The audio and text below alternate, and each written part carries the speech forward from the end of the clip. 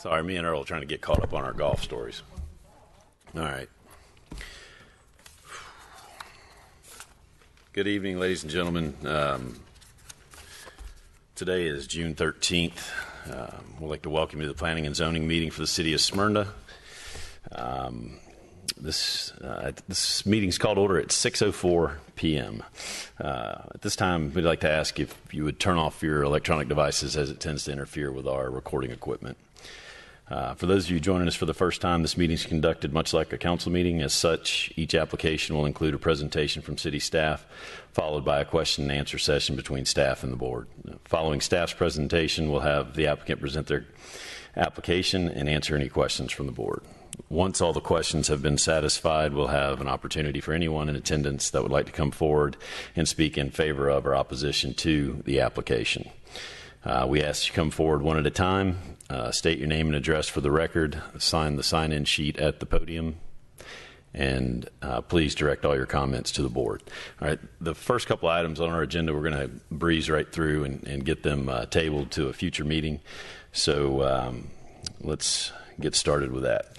Um, that first item on our agenda is, I'm looking at the wrong minutes, my bad is Z16-002. Uh, it's rezoning from GC to RTD conditional for the construction of 72 townhome units. It's a 7.25 acre tract in land lot 606. Uh, this is 4710, 30, 50, 60, 70, and 80. 4780 Camp Highland Road.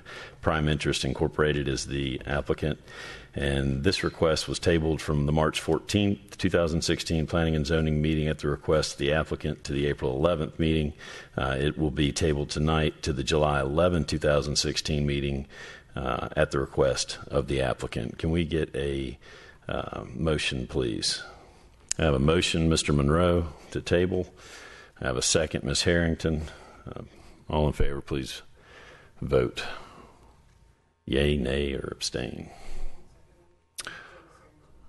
Gotcha.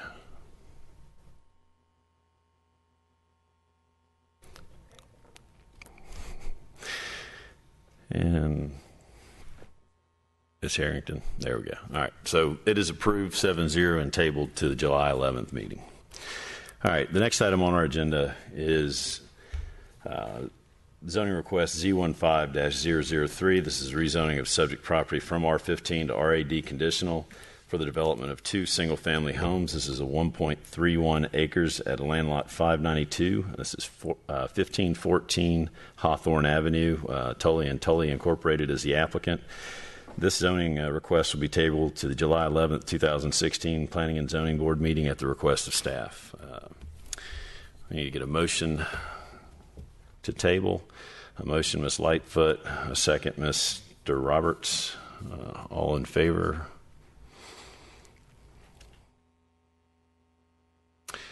It is approved 7 0. All right. Um, the next item on our agenda is the zoning request Z16 007. This is a rezoning from LC and GC to MU conditional for the development of a new restaurant. This is a 0.142 acres at land lot 452. This is Concord Road and Hollis Street. Uh, Smyrna Restaurant Concepts LLC is the applicant. Mr. Martin, the background, please.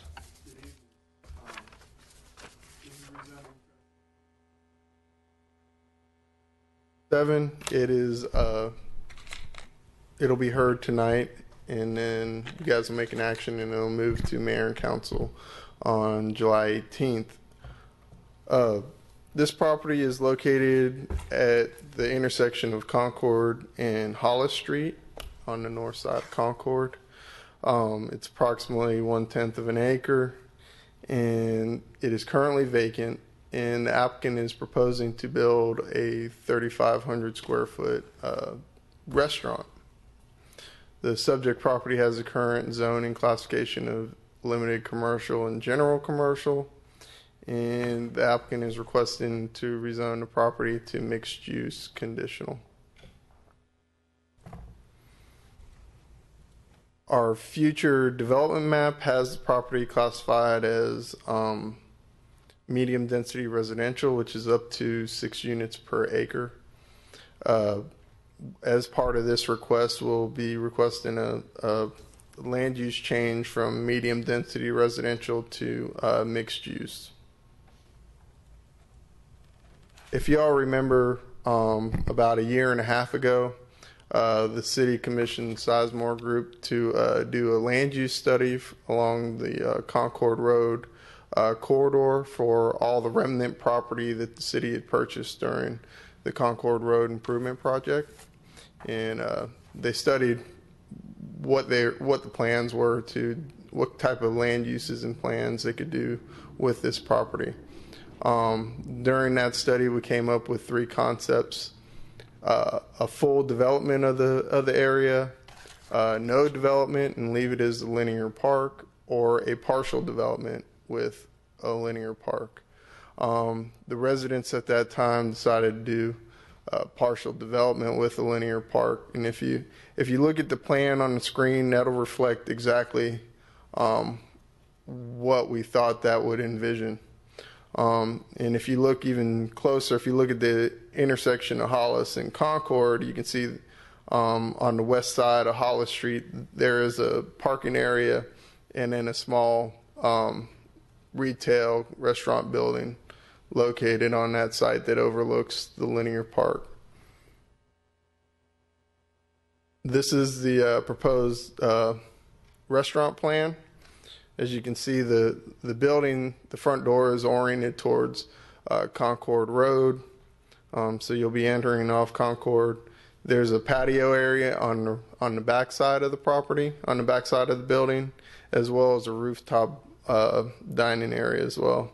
And I'll, I'll show you that in the building elevations.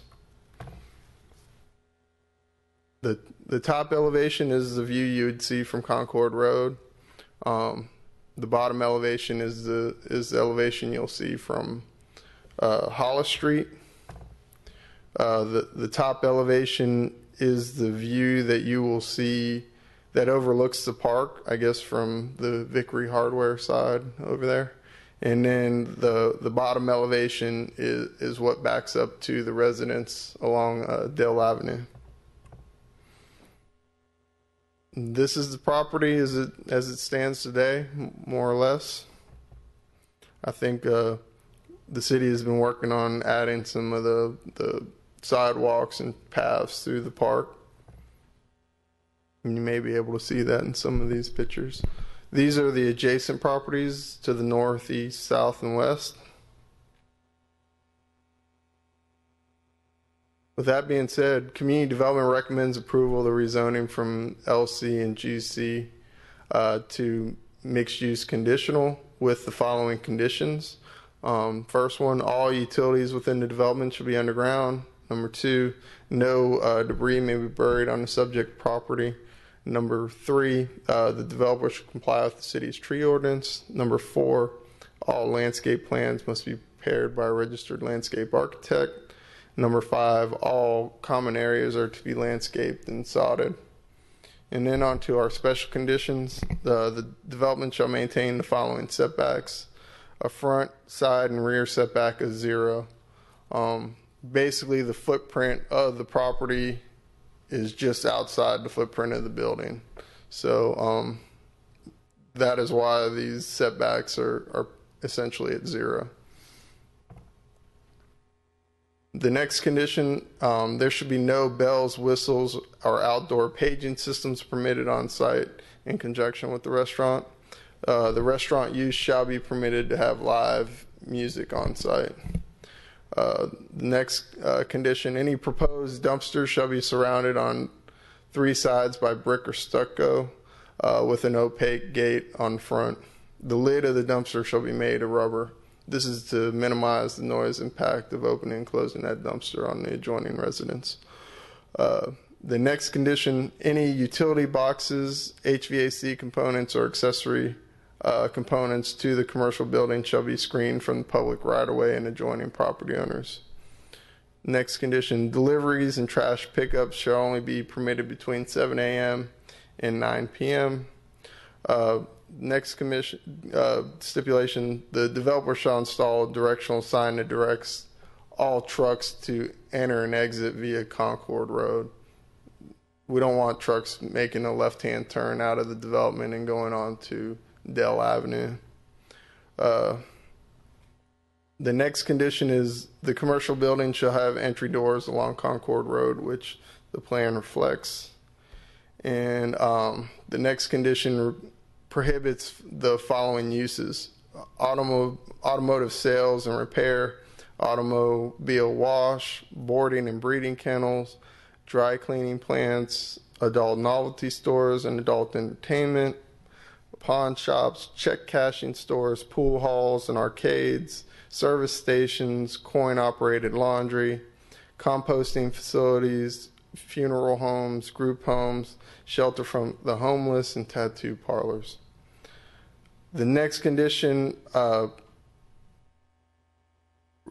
basically gives approval of the subject property based on the site plan submitted with the with this zoning application. And finally, the last condition binds the applicant to the elevations re- reflected in the uh, building elevations submitted with the zoning applications. Any changes to those elevations need approval from the community development director. With that, I'll be happy to answer any questions. Thank you, Mr. Martin. Any, any questions? Do they have a name yet, Rusty? I believe it's Wade's place. It's Wade. Wade's, I'm sorry. Wade. Wade's. Say again. Wade's. W A D E. Ms. Uh, Harrington. Yes, I have a couple questions about the noise ordinance. I know that we have some provisions already in there, but with the neighborhoods so close behind and the fact that they're older homes, which typically don't have good insulation or no insulation and the windows are inferior, just being able, being sure that the residents will be pleased as the years go by, because we're all happy to have a restaurant in the neighborhood. But how do you plan to maintain the noise levels? Is that directed at the, Let, at let's, applicant? let's, uh, why don't you address it from your perspective, and then we'll let the applicant speak to that when they get a chance. Um, well, the city's started to address that by planting an evergreen landscape buffer along that property line. In addition, we do have a noise ordinance that requires a, a certain decibel level at at the property line. So if there's an issue, we'll at that time we'll go out there and measure the decibels, and if there's a violation, then we'll try to bring it into compliance. Okay, we'll let the applicant address what measures they're going to take when they get up. Really quickly, can you say what the decibel level is that the city has?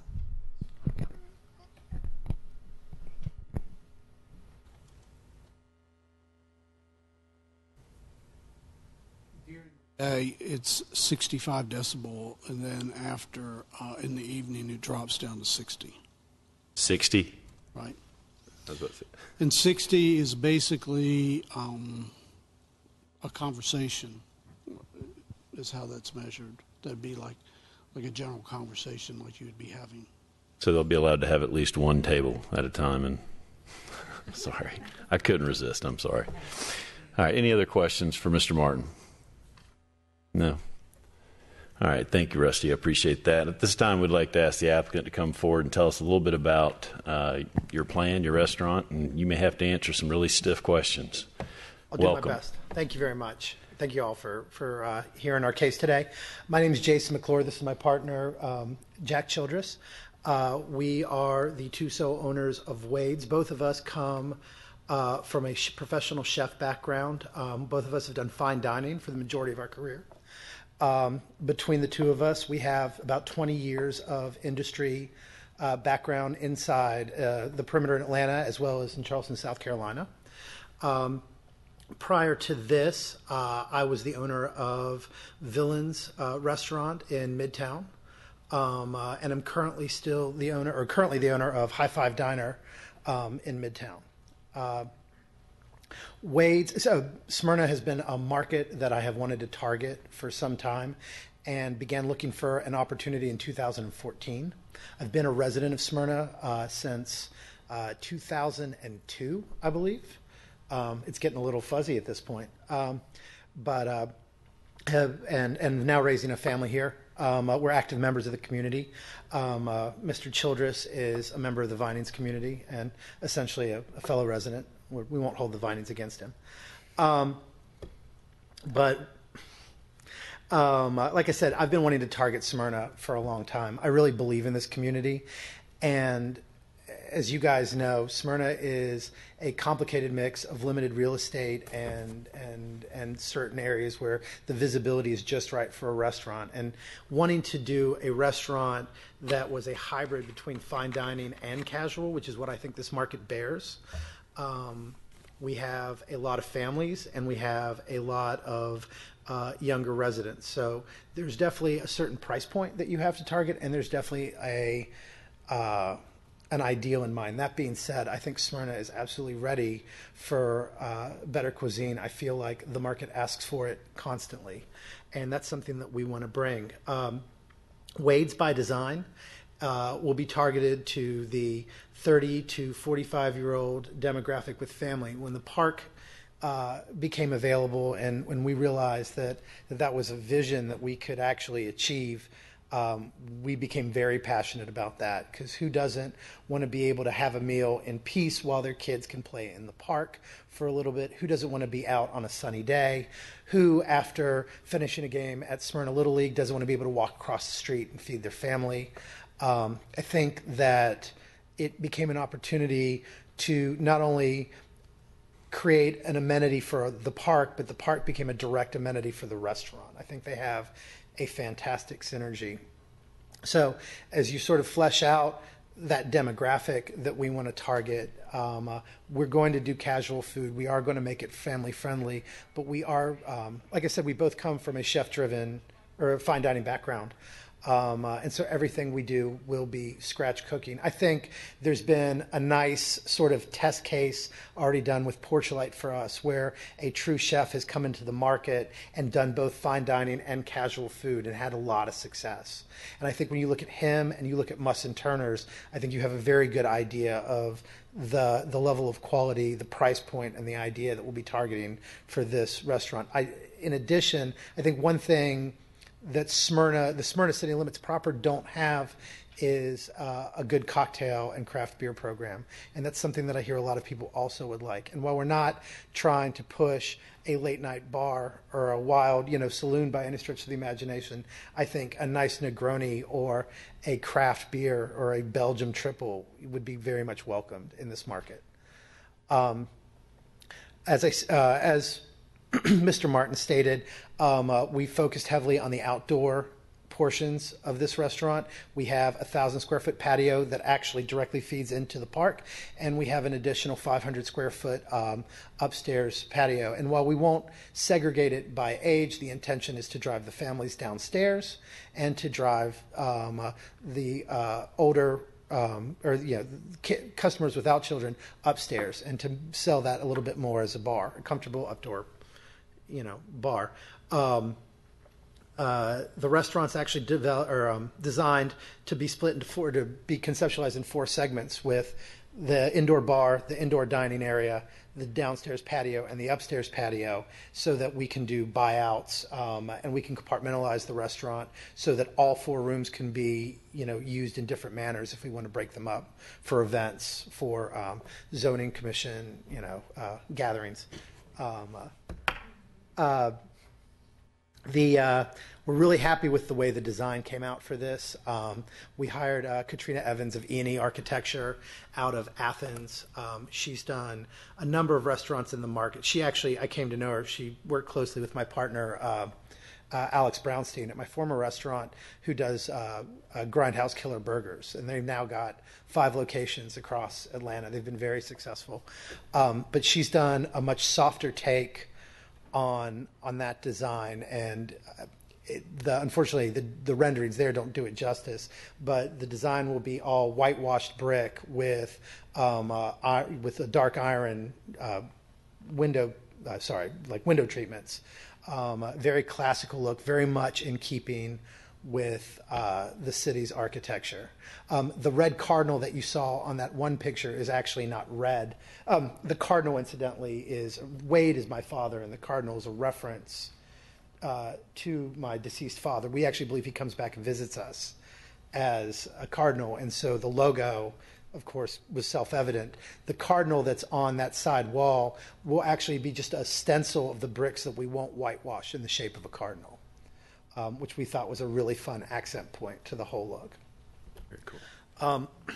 That's basically my sales pitch. I'm more than happy to take any questions. I'd like to open the floor to questions this time. Mr. Roberts? Yes, they had they had asked some questions about the noise before. Uh, I know Rusty did a good job of answering but from from your perspective, how are you going to handle live music and that kind of? Um, absolutely. So, uh, obviously, in the characterization of, of who we're targeting, we're not going to run rock and roll bands on the back porch. My vision for the occasional live music, which I don't foresee being a frequent item, um, uh, is you know a, a guy with a guitar, an acoustical guitar, sitting on the porch. Um, uh, you know, very light. Um, uh, we. Uh, I do not believe so. No. Um, uh, I, I mean, I don't want to shut the door on that by any stretch of the imagination, but uh, you know, right now, I'd like to develop the community of the restaurant without putting additional like distractions in. And I think sometimes, especially when you're grounding yourself in developing a concept, I feel like becoming a music bar pigeonholes you into uh, what's the the bar that's down in Vinings across from Jubilee that's been there forever. Old Vinings Inn. I think you end up pigeoning yourself into a place that people only go on Friday and Saturday nights to listen to a live band, and that's not what I'm targeting at all. Um, I mean, obviously, we're going to have to manage ourselves to some degree with uh, crowds at night on Friday and Saturday evenings at 10 o'clock and just make sure that um, uh, we're managing everyone's expectations and we're serving people appropriately and we're controlling the outcome um, uh, well in advance of becoming a concern for the residents.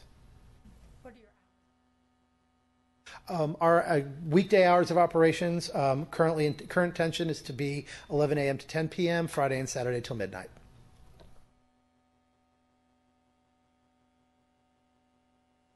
Any other questions? Do you have a target opening date?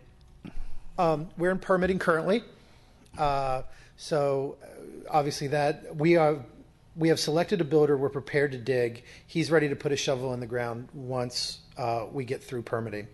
Um, current estimate is five months. Uh, I I'm not buying it. Um, I would love that to be true, but uh, things are going to happen. We are targeting end of November 2016. I firmly believe that we will be open beginning of January uh, 2016. I think Ms. Warren had another question for you. Because you are so close to the park, and you mentioned that that was a big factor for you. Do you have any plans to support the city in their efforts to, um, you know, put in the play equipment or keep the park, um, you know, in a good state or good place? Is that any part of your your concept? That's actually a bit of a complicated relationship, um, and and f- truthfully, I think to some degree, Tom would need to help me speak to the relationship. But the purchase price of the property has all gone back into the development of the park, um, and the park is SPLOST funded, so there's a very specific relationship about how every um, uh, everything can can be managed. Um, that you know, that being said, I would have no intention of, of personally putting in, um, say, for instance, Playscape because I don't want to manage the liability for it. Um, but we will obviously have a very direct relationship with that park, and our goal is to not only you know to maintain it and to be good neighbors, but to be good hosts and to utilize that park to develop it as another community venue. And I think in that endeavor, we will be very beneficial, whether we're doing, you know, daytime events or, I mean, there's, there's so much room as Zucca and Atkins have already demonstrated for community events in these open environments. And I think that that's where really, we're really going to shine. And it will be an opportunity for us and we do want to be a give back member of this community. Those events, especially, will be a real opportunity to be a give back member. Uh, and my wife is also connected. She's a speech therapist at Nickajack. We're very interconnected with the schools. Our goal is to sponsor. You know, I've already talked with King Springs. I've already talked with Nickajack. Our goal is to be very uh, uh, integrated into the educational community in, in Smyrna because I believe that uh, you know that's that's going to be so important for where the city goes over the next 20 years. All right. Any other questions? Okay. Thank you very much, guys. All right. Thank you. At this time, we'd like to uh, open the floor. This is a public hearing. If there's anyone in attendance that would like to come forward and speak in favor of or opposition to this application, now is your time. All right. Let the record show that there is no public comment. All right. At this time, I'd like to entertain a motion. This is in Mrs. Warren's ward. We have a motion to approve, if you would.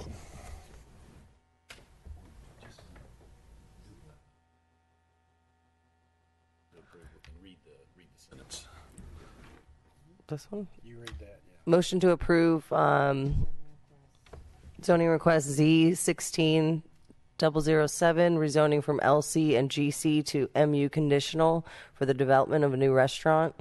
Land lot four fifty-two at Concord Road and Hollis Street in Smyrna uh, for the Smyrna Restaurant Concepts LLC. And that is a motion to approve. Do we have a second? We have a second, Mr. Rice. At this time, please vote. We have we have a approval seven zero. Good luck, guys, on your restaurant. Look forward to uh, seeing it flourish for sure.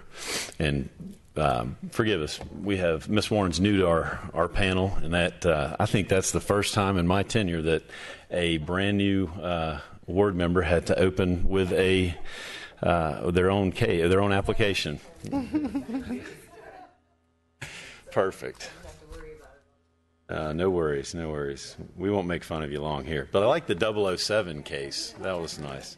All right. Don't make me gavel you people. The next item on our agenda is Z16-005. This is approval of a special land use permit for the use of a modular classroom building, uh, 8.83 acres at land lot 595, 596, and 597. This is 3130 Atlanta Road. Covenant Christian School is the applicant. Uh, Mr. Martin, the background, please. Yes, um, this is a request this board has heard numerous times over the last uh, eight years. Um, basically, hearing this request for every two years since 2008. Um, Covenant Christian School is requesting basically a renewal of their special land use permit to be able to maintain their um, modular classroom building on site. Um, this classroom building houses four uh, different classrooms for the school. Um, originally, our originally mayor and council approved this zoning back in 2008. We've sub- subsequently reapproved that every two years because during that original approval, uh, staff required a stipulation that they had to come back and get reapproved every two years. Um, with that being said, uh, I'll give you a picture of, of what the building looks like today. It looks great. It blends in with the school very well. Um, but staff is recommending approval of the requested uh, classroom building with following condition. This is the same condition that we've used every year. Uh, the modular building shall only be allowed for a period of 24 months after that date of approval. If the applicant shall need the, the modular building for a longer period of time, the applicant shall reapply for approval for the modular building. This is just to maintain an action and open discussion with the school. If we identify any issues that we need to be resolved, we can we can address those issues when this comes back before the mayor and council. Um, you know, some of those issues may be site access. They've changed the way they're dropping kids off. We may need to address that or whatever. The, those are types of things that we can address at that point. But as I said before, we're we're recommending approval with this Okay. stipulation. Any questions for Mr. Martin? Okay, thank you. All right, at this time, I'd like to uh, invite the applicant up to tell us a little bit about the application and the plans going forward. And welcome, good evening. Good evening. Please state your name and address. Uh, Brant Suddeth, 3243 Collier Gate Court, Smyrna, 30080. A little close to the uh, property. huh? Yes. So I, so I look at this property with the eyes of the uh, board chairman, but also as a, uh, as a neighbor. So it's Very important good. to me that it also looks right. Well, welcome. Tell us a little bit about your plans. So uh, the last time we stood in front of you asking for approval, um, we had just completed a site plan with an architect uh, for the uh, for the church and the school. Um, so that was that was June of 14. Um, since then, a couple things have happened. I think worth worth noting. Um, we've hired a development director. The school has. Uh, we we hired her in uh, November of 14. Um, we have uh, we have also uh, we still have a just over two hundred thousand dollars in our building fund. Um, part phase one of the plan the architect created for us was taking the, the uh, not the modular, not touching the modular building, but the, the, the church building and moving church offices with, with school offices such and classrooms such that we put the church offices all now sit on the front side of the Atlanta Road um, near the portico closest to the park. And everything, if you're looking at it from Atlanta Road, on the right side is church offices and uh, sorry, school offices and school classrooms. Phase two would be to remove the modular buildings, build out from um, kind of the right side of the building. Again, if you're looking at it from Atlanta Road, such that extending that um, two levels back so that we have classrooms back there. And maybe the third phase would be coming closing the back area such that we had a, a gym. That's the one of the big things we're lacking is a gym and a cafeteria. So uh, uh, the exciting news from our standpoint was we've completed phase one of the renovation, um, and that was that was to the tune of about two hundred thousand dollars last year to do to do the move and um, kind of renovate the space, church and school. Uh, development director again. She's been on board now for a little over 18 months. We've raised our annual fund giving from $50,000 last year to $80,000 this year. Um, we repainted the annex um, as part of the renovations we did uh, in the fall of 2015 to ensure that it mirrored the color scheme of, of the um, of the church. Um, quite honestly, most folks don't realize it's a modular building. We've done we've done a good job with, with it over the history with the landscaping and the painting.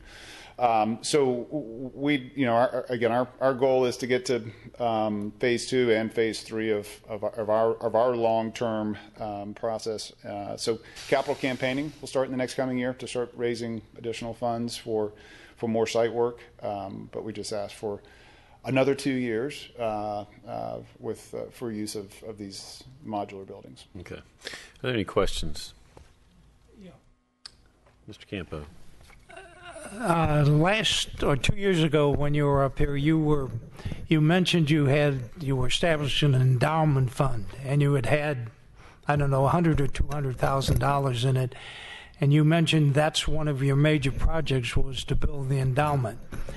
My question is, that everything seems to be uh, predicated on dollars raised. Yes, sir. Um, how are you doing in uh, increasing these, or you know, the endowment fund at this point? Yes, sir. So great question. So two years ago, we had about two hundred thousand dollars in the building fund. We've got two hundred thousand today because anything we we raised between uh, within the last twenty four months went to the renovations we did last year.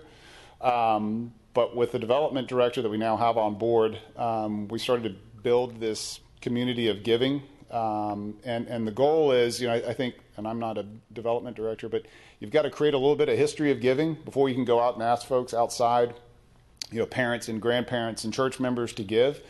And so the hope is to show just continued, the goal for this next year's giving is just over $100,000. So if we show some history of continued growth, then the hope is as we reach out to folks in the community, corporations, that there's an opportunity to raise more money there so we speed our, our, ourselves up along the path. Any other questions? Is there a magic button number that you guys are waiting on to hit? And do you have an expectation of when that might be, or No, I, I tell you, it's been a uh, it's been a it's been a year of transition there on the corner. Uh, SBC, uh, Smyrna Presbyterian, just hired a new pastor. Um, we just a month ago hired a new headmaster. Um, so uh, I think both organizations who work real closely together are excited about new leadership, and there's an opportunity, I think, on the corner of you know kind of Main and Main to do do a lot of exciting things there. But there was a, a little bit of a hit of a pause, uh, put things on pause this year, quite honestly, to just get new leadership in place. So um, the number I think for the renovations is at times it will depend on is it building out the school classrooms or is it getting the gymnatorium that we all want. Um, where it's in the ballpark of a million and a half, two million dollars to do it the way we want to do it. Right. Um, there may be a point where you got to scale it back and say, do it a different way, but Right. that's the that's the goal. All right. Very good. Any other questions? All right. Thank you very much for your time. Thank you. At this time, we'd like to open the floor. This is a public hearing. If there's anyone in attendance that would like to come forward and speak in favor of or opposition to this application, now is your time. Uh, let the record show there is no public comment. All right. This time, I'd like to entertain a motion. This is Mr. Campo's ward. I would like to request Z16-005, approval of a special land use permit for the use of modular classroom buildings for the Covenant Christian School. I make a motion to approve the zoning request. We have a motion to approve, Mr. Campo. We have a second, Ms. Harrington. All in favor or opposed, vote your heart.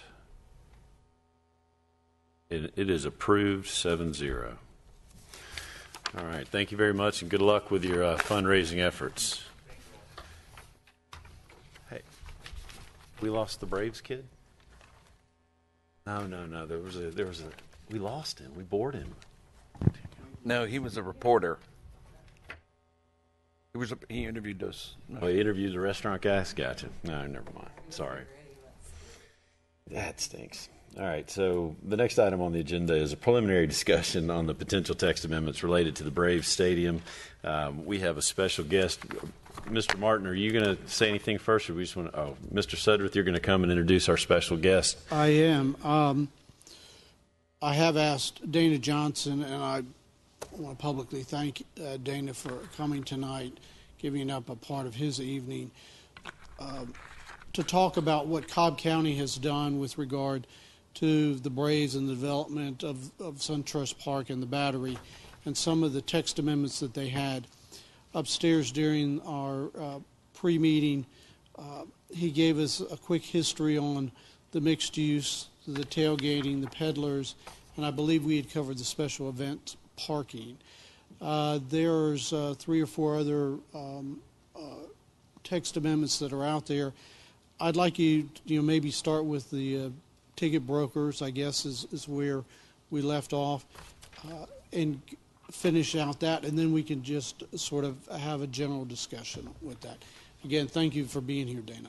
Thank you, Ken, and thank you, for Mr. Mr. Chairman, for letting me speak. Uh, again, my name is Dana Johnson. I'm the Community Development Director for Cobb County, and I appreciate you allowing me to be here to um, talk a little about these codes. Before I go into exactly what you're talking about, I think there was one important um, mention on all of these codes. None of these codes were actually placed in our zoning ordinance either. All, most of these codes were placed in our section for permits and licenses, with a few in the offenses section of the county ordinance. So just if, so that was just as we were doing research on it, we saw that most of these were more permit and business license related than, uh, say, zoning related. Um, just as a point of thought, as as you're thinking about these yourselves. Um, to follow up, uh, yes, ticket broker was the next one that we um, considered. This is commonly known as scalping, um, but ticket brokers are allowed through the state law.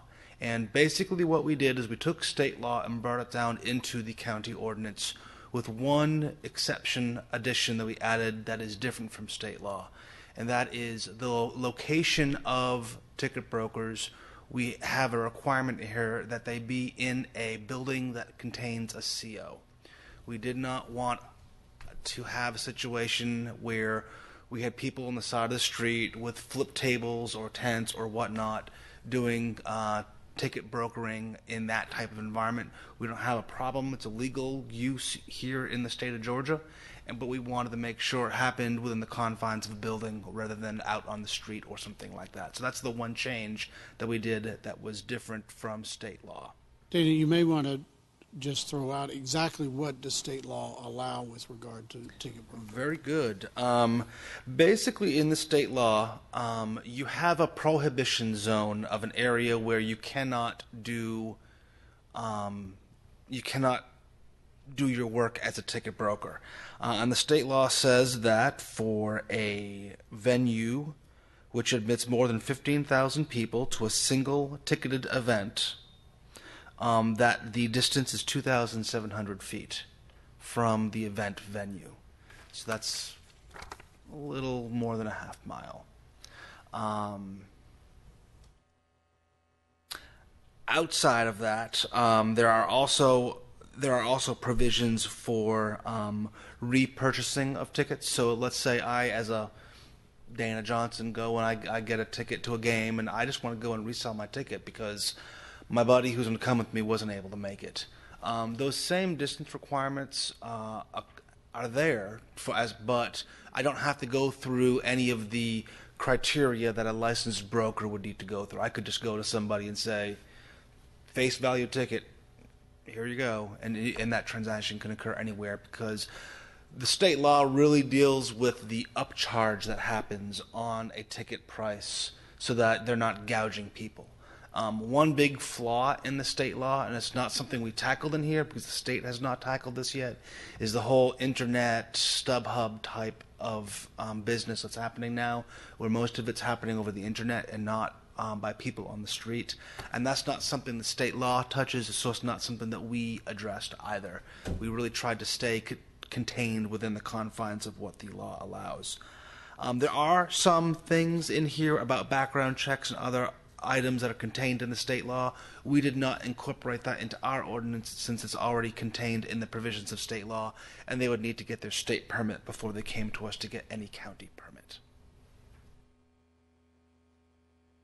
Uh, moving on from there, we also did a this this one is actually the version you have in front of you is an old version of this code. This is for unmanned aerial vehicles, also known as drones.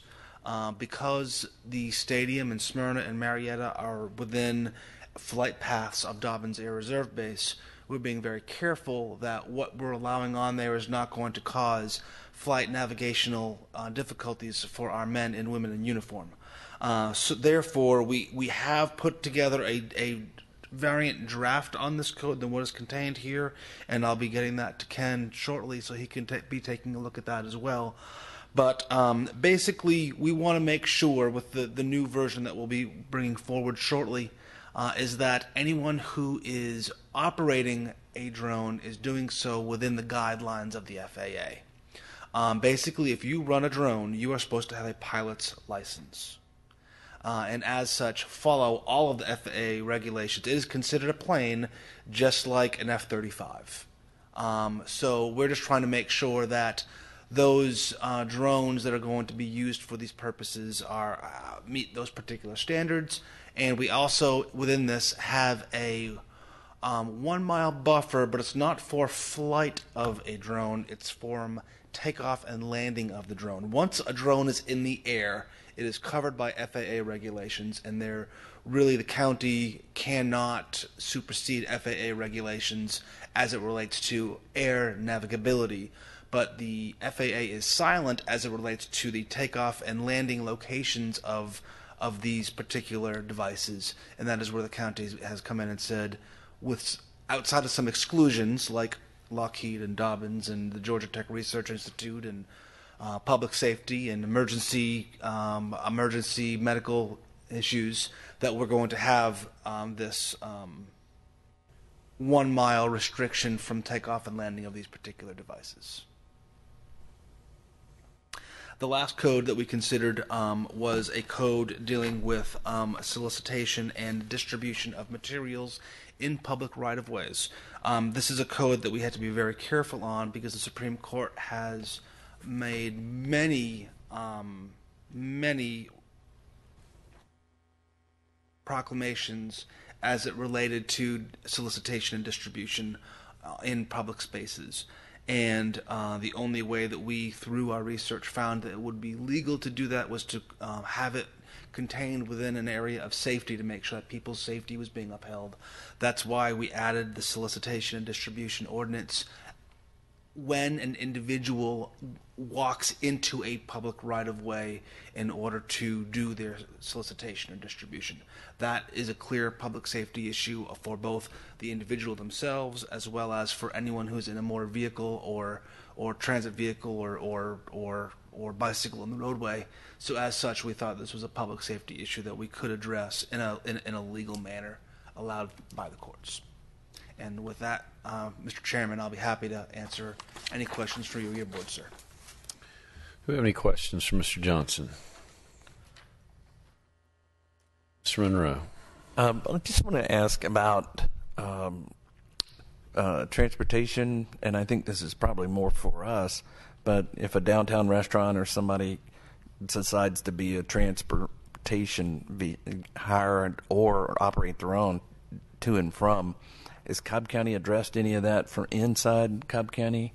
No, sir, and, and none of that would be addressed by any of the codes that we've addressed, and we would certainly welcome and support growing Smyrna's business community, which is really what that would do is is help drive business into downtown Smyrna, and we would welcome and support it. Any other questions?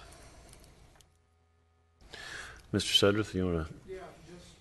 remind everybody, um, Dana's covered a lot uh, in, in a very uh, general fashion. We'll get into the specifics. I will bring these to you one at a time. My goal is to have all of this addressed by the end of the year. Um, but there's not a particular time frame that we're going to address, you know, peddlers as an example.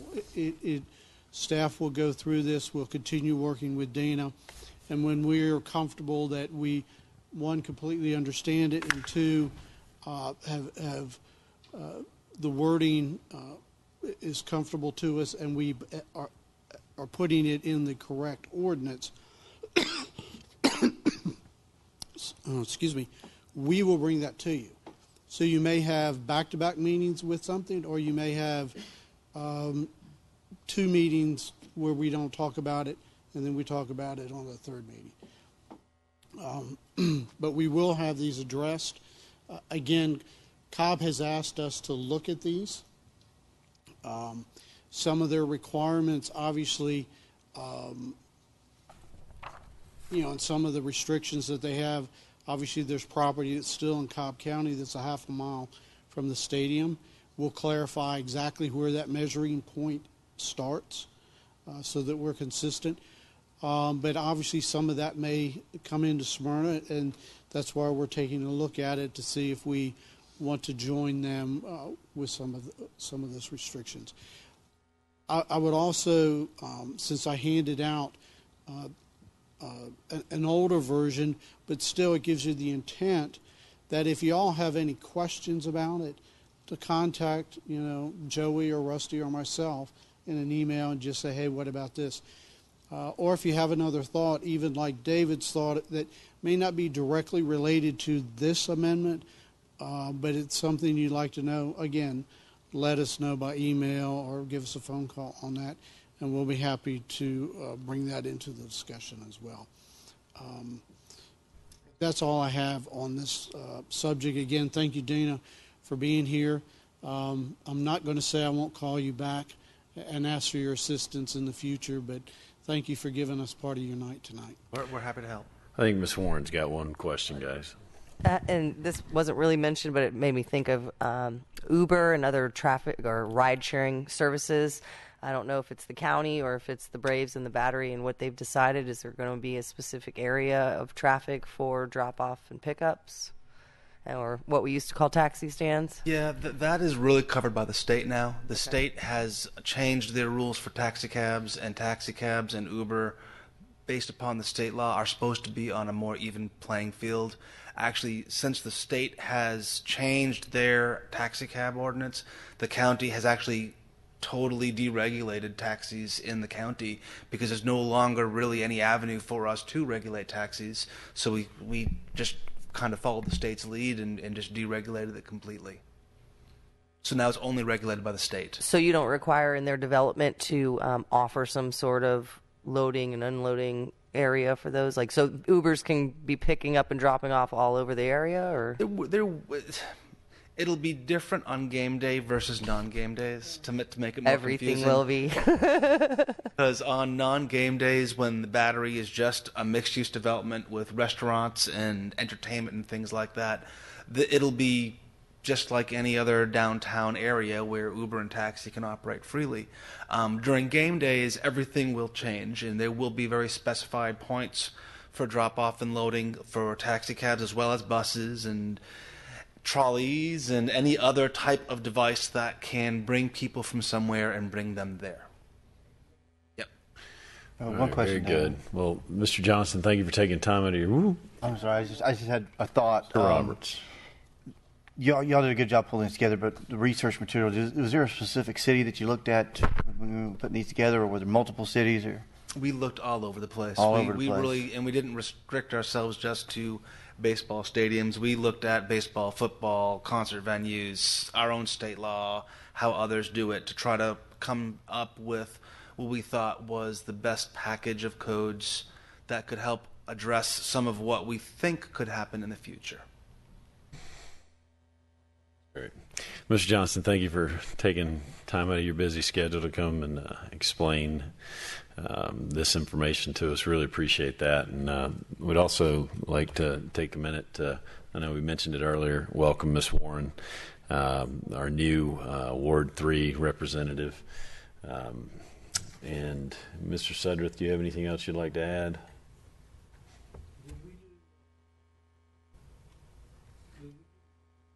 We have not done the minutes. I'm I'm still I've, I've still got the gavel over here. I'm just making sure we don't have anything anything further. Okay. All right. Uh, without any further business, um, I'd like to declare this meeting adjourned at seven fifty six six. I didn't approve the minutes from the last meeting. I'm losing. I'm losing. I got. I'm sorry. Dear God, someone gavel me. The last item on our agenda is approval of the minutes from the May 9th, 2016 meeting. Are the board members in possession of the minutes? Does anybody have any changes they would like to make at this time? No. All right, can we get a vote, a vote to approve the minutes? A move, Mr. Roberts, to approve. Second, Mr. Campo. Uh, all in favor, please vote. They are approved 7 0. And uh, without any further business, this meeting is adjourned at 6.54. Next time I'll turn off my mic.